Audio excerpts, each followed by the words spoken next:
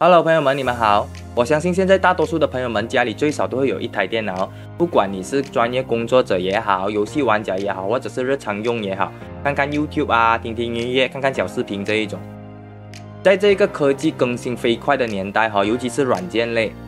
我们大多数人都会遇到很多各种各样不一样的问题，尤其是在电脑上面，游戏玩家或者是视频工作者的话，会遇到很多各种。花屏、死屏、卡屏、卡顿，甚至乎离谱到蓝屏给你必须要重启，或者是最近新出来的一种灰色的画面灰屏，你什么也干不了，就只能硬硬的去重启，这个真的是很痛哈，对我们来讲，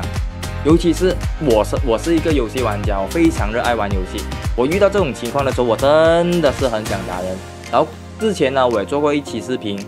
就是关于 AMD 的，然后给了一个比较偏门的一点的方案，就是只能 downgrade 你的 driver。然后最近呢，我找到一个新的方案，非常的良好。为什么这样子讲呢？因为 AMD 的话，我之前给的方案是告诉大家，只要下载回旧的这个版本，二十二点五点一就好了，没什么问题。可是这个就好像割肉这样，二十二点五点一之后的这一些版本哈，不管是哪一个版本。都对游戏性能或者是工作性能上有很明显的提升，很明显的很愉快很爽。但副作用就是我刚才说的，很多人会遇到死机、卡机、蓝屏、灰屏这样子的东西。所以今天我就找来了另外一个更好的方法，可以完美解决。不知道对你有没有用，你也可以试下。在这儿我要补充一点哈，在刚才我说的那一种情况，不只是单单发生在 AMD 显卡。身上，NVIDIA 也会有，或者是笔记本也会有，只是对于我来说，发生在 AMD 显卡上面的几率比较高，因为我有几台电脑，的确它发生的几率在 AMD 显卡上是比较高的。来，话不多说，直接给解决方案哈。首先，直接右点击你的电脑，创建一个新的文档，New Document，名字随便，最重要是打开它，打开它之后，直接复制我现在视频上面的这一段。文字进去，这一段文字等等我会放在那个 description 那边，有需要的朋友可以自己直接复制粘贴哈，然后直接 save as。记得这里一定要选择所有文件 all file。这个东西呢是去关掉 Windows 十一会造成这一个问题的某个功能，所以我本人的话我会直接写关一个字，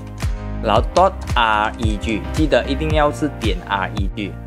好了过后你直接按 save。再去你自己能找到的地方，之后你只需要双击它，点个 yes，再重启你的电脑就好了。至于 MPO 是什么东西呢？我不太专业，用言语解释，你们可以自己去谷歌看一下。然后再再来一点，如果这个东西对你们没用，或者是发生了各种错误意外，或者你们需要这个功能，我再来给你们一个复原的方法，就是同一个文件上面，你只需要把现在这一段。Copy 进去，然后 save as，然后命名它为开，就是开为这一个功能而已。然后记得一定要 off file，来按 save，一样，点击它，按个 yes，重启电脑就好了。这一个小改动对我非常有用哈，我现在得到的不只是游戏的性能提升，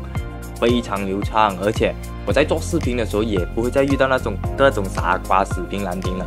希望对你们有帮助哈，谢谢。